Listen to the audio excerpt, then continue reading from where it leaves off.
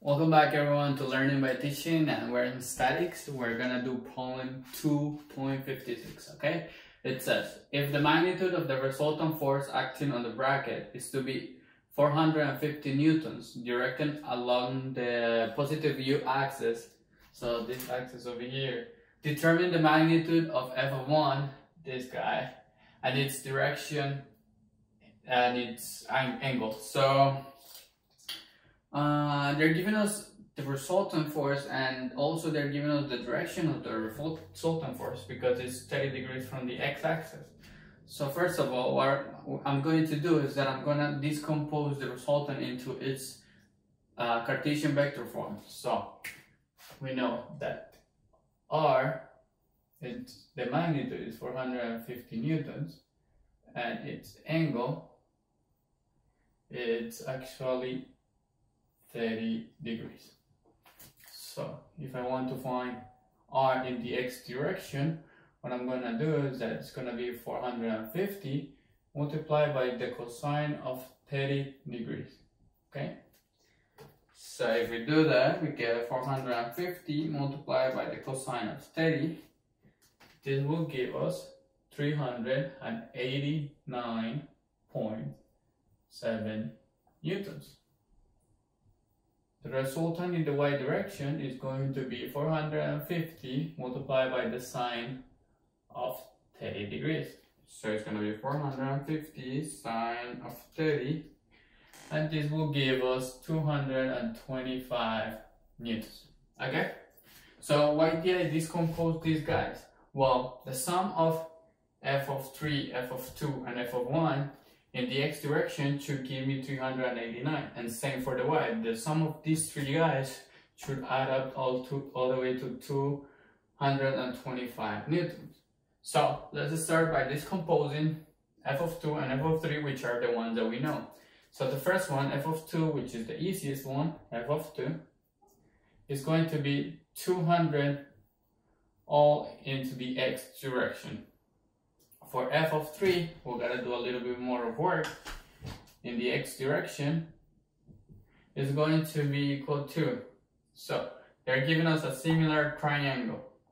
So we're gonna what we're gonna do is that we're gonna multiply by the amount that the, the side that we're looking for in this in this case the x direction 5 divided by its hypotenuse. So 13 and this fraction, we're going to multiply it by the actual magnitude. That way, we can find the f of 3 in the x direction. So we got 260 multiplied by 5 and divided by 13. This will give us 100 newtons. Okay? For f of 3 in the y direction, is going to be really similar. But instead of a 5, we're going to use the 12 because that's the side of the similar triangle we're using. So it's going to be 12 divided by 13 multiplied by 260 and this will give us so 12 multiplied by 260 divided by 13 is equal to 240 newtons. Okay, so what we're going to use is that we know that the resultant in the x direction gotta be f of 1 in the x direction plus f of 2 in the x direction plus f of 3 in the x direction. So if we follow that, we know that r in the x direction is going to be 389.7 equal to f of 1 in the x direction, which we don't know yet, plus f of 2 in the x direction, which is actually 200, plus f of 3, which is um, in the x direction 100 newtons. So if we solve for f of 1 in the x direction, we get that f of 1 is in the x direction is going to be equal to 389.7 minus 200 minus 100. And this will give us 89.7 newtons. Okay, now let's do the same, but for the y direction. So the resultant in the y direction gotta be equal to f of 1 in the y direction plus f of 3 in the y direction. Why not f of 2? Well, f of 2 doesn't have anything in the y direction, so that's why I'm not including it. So if we do that, we have that 225 is going to be equal to f of 1 in the y direction, which we don't know yet. And we need, this guy is a negative actually, I always forget those negatives, minus 240 newtons. So if we solve for f of 1 in the y direction, it's going to be 225 plus 240, which will give me 600, uh, 465 newtons. Okay? So they want the magnitude. So in order to do the magnitude, what I'm going to do is that we're going to apply Pythagorean theorem for f of 1. So let's draw a separation line up here so we don't get confused.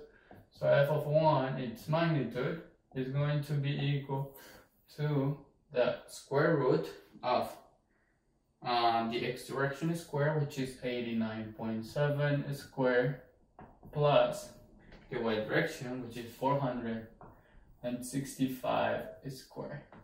Okay, if we use a calculator, we find that the magnitude is going to be equal to, let's see, 89.7 square plus 465 square it's equal to 473.6 newtons okay?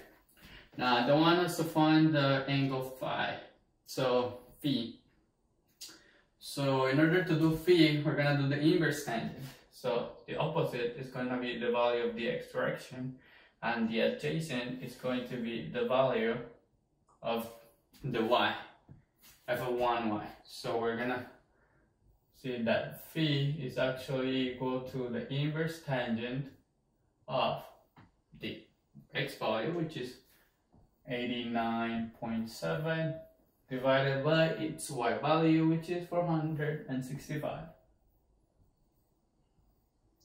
So in total, phi is going to be equal to it's in the calculator. It's going to be 89.7 divided by 465. We do the inverse tangent of that and we get that the angle is 10.9 degrees. So here, that's the answer. This is going to be the answer for the magnitude and this is going to be the answer for its direction, okay? Thank you guys for watching and I'll see you guys in the next video.